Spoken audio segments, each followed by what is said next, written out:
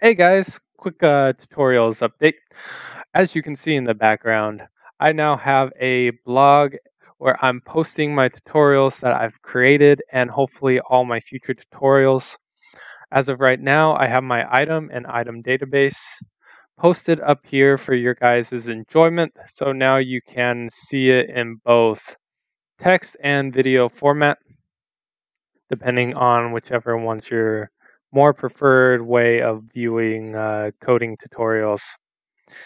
Um, as of right now, this is the only post, and I'll be aiming to create one for each tutorial video that I've already created and get them all posted up here when I have uh, time. And also, on a future note, I'm aiming at getting all my code from previous tutorials along with my future tutorials and uploading it all to a GitHub account so you guys can download the source directly and you guys can get into messing around with my code even faster. And also, I just wanted to talk about my uh, videos and what exactly I'm covering.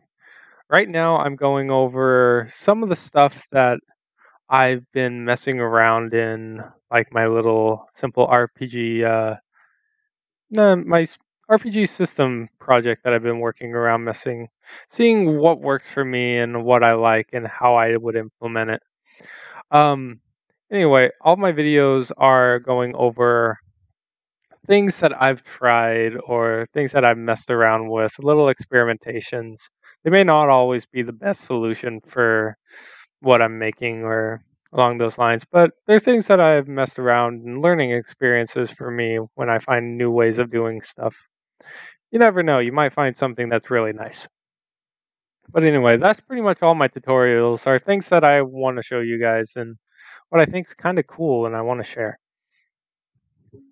And also, I'm totally new to all these uh, tutorial videos. This is pretty much my first tutorial series that I've actually put together, and I'm planning on making more and more. So please leave comments in the bottom of the YouTube videos or go to my website and at the bottom of each post you can leave little comments of things that you think I could improve on or things that you want me to try and cover.